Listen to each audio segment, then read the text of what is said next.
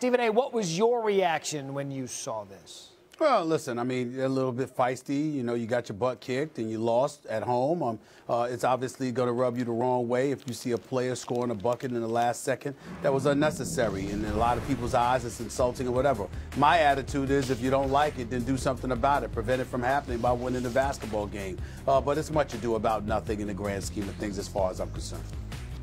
I thought it was a punk move by Jordan Clarkson. He was embarrassed. Jordan Clarkson can play defense if he doesn't want to be embarrassed. The Cavs got embarrassed at home.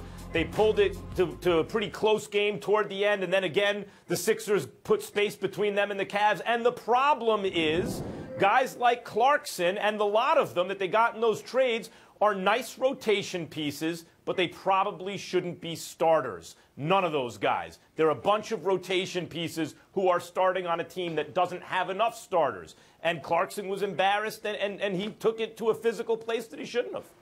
This getting, okay, go I'm, ahead, Stephen. I'm not getting caught up in the fact that their starters are not starters. Kevin Love is not in the lineup. He's your second best player. Once one. he's back in the mix, once he's back in the mix, then it'll change the rotation, and that's really what this comes down to. Clarkson's going to come off the bench. Larry Nance Jr. is probably going to come off the bench. Rodney Hood is most certainly going to come off the bench. The only person that's going to be in the starting lineup is George Hill, so I'm not really concerned about that. All right, that's the problem. They should all be coming off the bench. You got LeBron, Kevin Love, and the rest are bench players solid bench players, but rotation pieces, not starting George, caliber players. George, George Hill could be a starter, particularly with a LeBron James in the mm. lineup with you, since he's going to have yeah. the ball half the time.